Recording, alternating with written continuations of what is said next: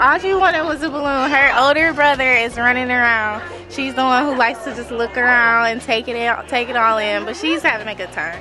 Um, I love to look up free stuff in the community to do for us and our family. So I found this, and it was great for them to learn and see the fire trucks up close. So we thought we'd come out.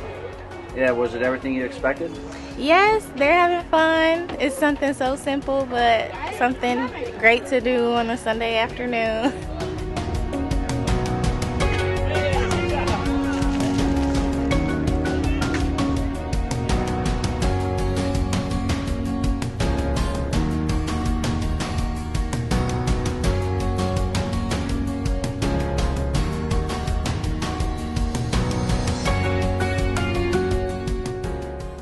wants to be a firefighter for Halloween, so perfect opportunity come and check out the station.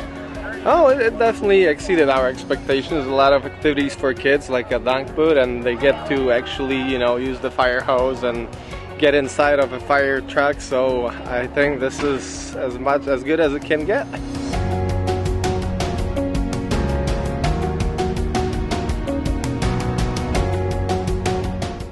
What's the best part of the job?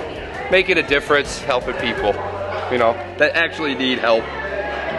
Yeah, he'd make a good fireman. I Think he's a chip off the old block? I think so. Spitting image. The apple never falls far, huh? That's right. That's right. I guess I'm an apple tree.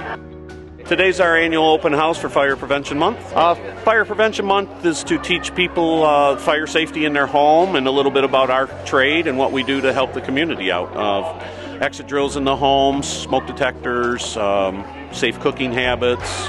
Um, we, sh- we show a, a, show of our extrication equipment and our, our equipment on our vehicles. Just like to make sure that the City of Hazel Park citizens and anybody that visits um, is aware that we're here and we're happy to serve and uh, uh, we want to continue to serve and provide the best service possible for our community.